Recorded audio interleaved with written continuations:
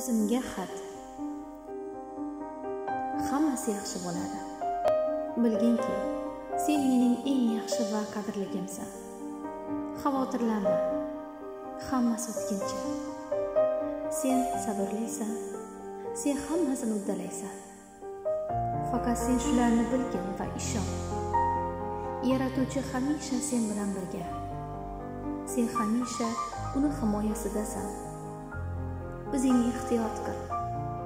O'zingdan muammo izlab o'zingni urintirmagin. Shunchaki sen o'zingga qanday o'zgachaligingni mo'jizaligingni esla.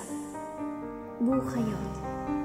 Ha u murakkab lekin hayot shundaylikcha qiziq. U senga o'zingdagi bor iqtidorlaringni ochib namoyon qilish uchun berilgan sen tog'larni talqon qila olasan. Butun dunyo seni oyog'ing ostida. Va bu faqat seni harakat qilishing uchungina aytilayotgan chiroyli so'zlar emas. Bu ayni haqiqatdir. O'zingni asra. Ayblama tanqid qilma. Bunday holatda sen o'zingni ichingdagi yorug'likni borligini ham unutib qo'yasan. Nima bo'lgani yoki bo'lishi ahamiyatsizdir. Asosiysi seni ichingda nimalar sodir bo'layotganida. O'zing bilan do'st bo'l o'zingga qadrli ekaningni angla. O'z ichingdagi tanqidchilaringni do'stlashtir. O'zingni barcha kamchiliklaringni va o'z o'tmishingni qabul qil.